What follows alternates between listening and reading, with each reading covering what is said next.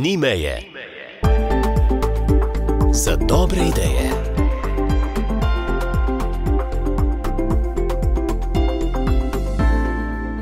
Pozdravljeni. Hitro se obrne nekaj tednov in še včeraj aktualno postane zgodovina. Dokler še imamo v spominu radijsko kolesarjenje po Koroškem, obudimo pogovor, ki v jetru še ni našel svojega mesta, s predstavnico občine Meslinja, kjer ob vse več obiskovalcih, tudi zaradi kolesarske urejene proge Štrekna, razmišljajo in razvijajo kreativne ideje za še večjo prepoznavnost kraja. Gospa Andreja Srd z občine Meslinja, pozdravljeni, kar nekaj dobrih idej je v vaših koncih. Se bomo najprej posladkali z eno od teh? Ja, posladkali se boste z našo čokolado, ki smo jo naredili za spomin našega velikega slikarja Jožeta Tisnikarja. In sicer imamo dve vrsti čokolade, ena je uh, izrez njegovega vrana, uh, druga pa je njegova fotografija čiričkov in uh, to imamo kot promocijska darila za turiste, obiskovalce. Ampak to še ni vse, imamo tudi druga promocijska darila in se trudimo iti v korak turizma, tako da imamo tudi svoj logotip, ki predstavlja našo lepo občino in pravzaprav s to novo kolesarsko potjo Štrekna se tudi mi nadejamo vedno novih obiskovalcev v naši občini. In razmišljate, kaj bi lahko vzeli s seboj kot spomin na lepa doživetja v vaših koncih?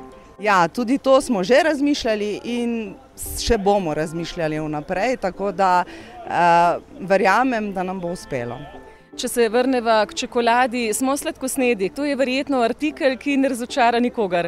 Ja, res je. Uh, sploh, recimo, vi danes, ko ste na kolesu, potrebujete dodatno energijo in takšna čokoladica, verjamem, da vam bo po koncu tega vašega kolesarjenja prišla prav oziroma bo dobrodošla.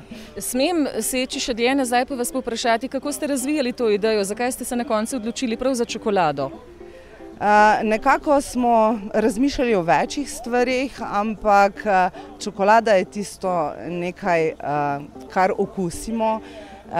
Pravzaprav najprej že uvitek vidimo. Želeli smo klopiti vsa čutila in se nam zdi res nekaj posebnega, no? da si ljudje zapomnejo mislinjo, mogoče tudi po okusu. Kdo je pa vse sodeloval, koga ste povabili, da ste na koncu dobili tako ličen izdelek? Uh, sodelovali smo vsi na občini Mislinja in uh, s kulturnim društvom Jože Tisnikar, uh, pa prav posebej tudi s sinom Jožeta Tisnikarja, ki nam je tudi dovolil, da lahko izdelamo to čokoladico v promocijske namene. Kakšne vrste slikar je bil, kakšen je bil njegov stil? Uh, on je bil uh, slikar, ki, uh, bom rekla, je uh, slikal s temnimi barvami, uh, krokarje, bolj mračne podobe. Uh, tako da je res neke vrste, posebne vrste slikar. Kaj pa glede vašega logotipa, kako se je razvijal, kakšna je zgodba v zadju? Ste jih imeli več?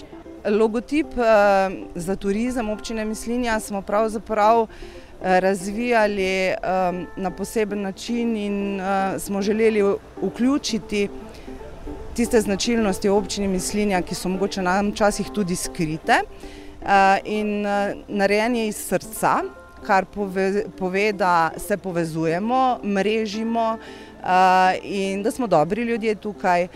Potem pa napis, Eh, iz podzemnega sveta do vrha Pohorja. Kar spet pomeni, da imamo podzemni svet, našo hudoluknjo, ki se še razvija eh, in tudi v občini Mislinja je najvišji vrh Pohorja, Črni vrh.